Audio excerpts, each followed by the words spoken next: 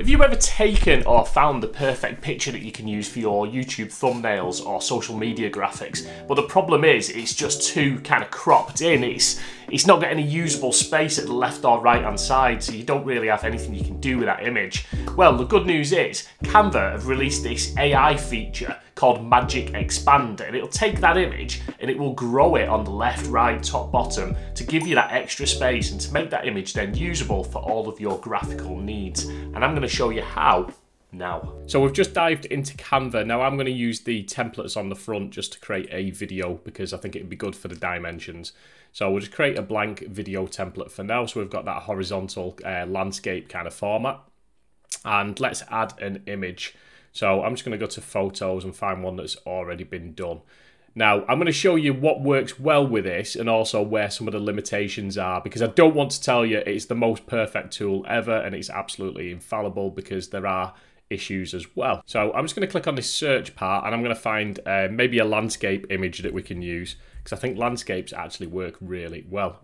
So let's find this beach scene and let's choose, let's try this one. Now, what we do is when we've got the image open and selected, you have to click on it so it's highlighted. If you click on edit photo, this is the feature that we want, this magic expand. Now, this is a premium feature, so you will need to have a paid version of Canva. You can pay for it month by month if you wish, um, or you can pay for it annually and take a discount on it. But if we click on magic expand, it gives us various options. Now, we've got freeform here, which basically just means if you hover over like the corners of the image, you can just drag it to cover the area that you want to expand it to.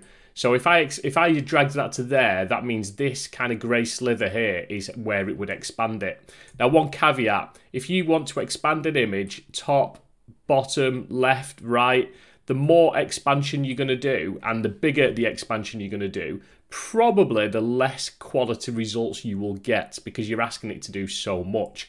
So personally, I just try and kind of keep it to maybe like a set a set amount really. Let's just drag that to the side. The other options you've got here is you can click on whole page and it'll highlight the whole page. Um, you can click on one-to-one -one, and you've got different formats here. So that's if you want to set it to a certain format. Um, like I say, most of the time I just use it on freeform. Tell you what, let's try that. Let's just try and expand the whole page. So once we've selected the area that we want to expand it by, we just click on Magic Expand. It'll take a few moments and what it'll do is it'll go away, it'll generate four results and then you can choose the best result.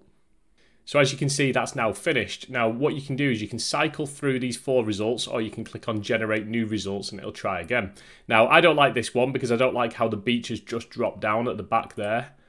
That one for me looks much better. I like the fact that it's added in more trees and you've got various options. I don't particularly like that one either. Uh, that one's not bad. So so there's at least two of them there where I wouldn't generate any new results. And what it's done is it's took a sample of what the image looked like and it's basically just imagined what should be next to it. Should it be grass, more trees, more blue ocean? And it just kind of uh, makes it up, if you like. So it's very clever how it works. What I'll do is I'll just, let's just overlay the original. So I don't know how clear that is. Let me just shrink it down a bit. And I'll put it in the sky here. So that was the original. As you can see, it went up to this kind of tree line here. So it's automatically generated that. It's added some on the bottom here. It's added this little detail in the uh, in the sand. And at the top, if we have a look, it's it kind of cut off here. So it's added more cloud detail and then it's just dragged the ocean out to the right. Is it absolutely 1 million percent perfect? Probably not, no. But actually, I think it's done a great job of making that image much bigger. So we can try this on a few other good examples. So let's whiz through this pretty quick. Let's try some mountains because I do think you get the best results with scenes if you like.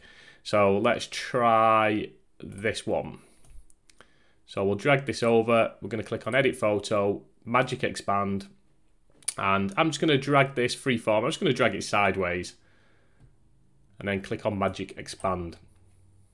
And hopefully what that will do is extend the tree range, the mountain range, and we'll just have a much wider image that we can use. So there you go, looking at them four results, they're all very similar, but I think it's given us some great results there that we can repurpose there. You wouldn't even know, would you? If that was the original photo, there's maybe a little bit of shading difference, but you wouldn't even really know if there was a problem there. Okay, so let me show you how it copes with people because that's slightly trickier, but let's see what actually happens.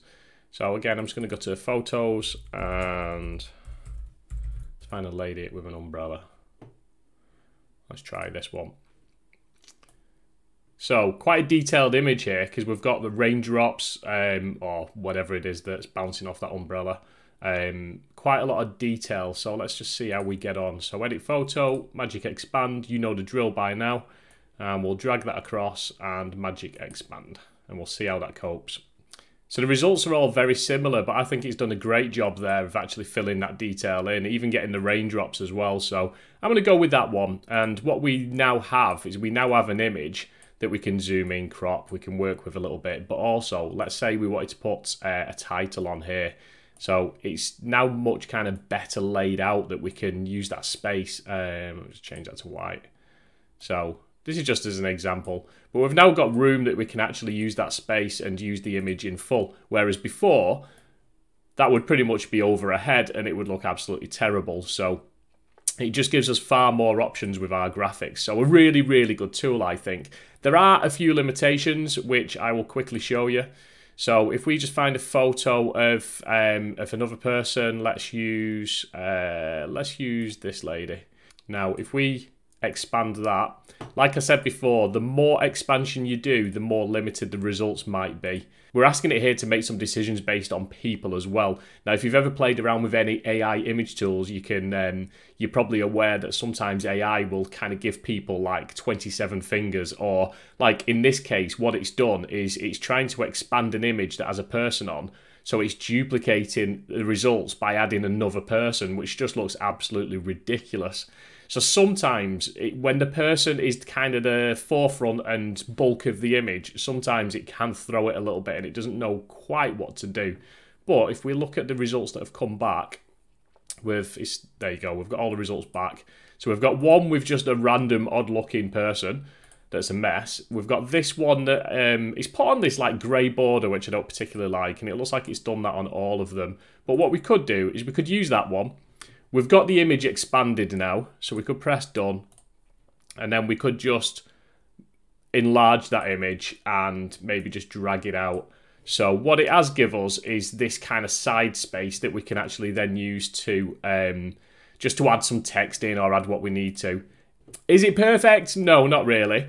But, like I say, I think this tool will get better. I think it's in its infancy. And as you've seen with certain images and certain scenes, for example, it works really well. And it just gives you a little bit of kind of versatility with images that you're using. And hopefully it will get better and better and better because some of these Canva features are brilliant. Another Canva feature that you're going to want to know how to use is the one in the video above. So click on that, take a look, and I promise you it will improve your graphic design for your content creation.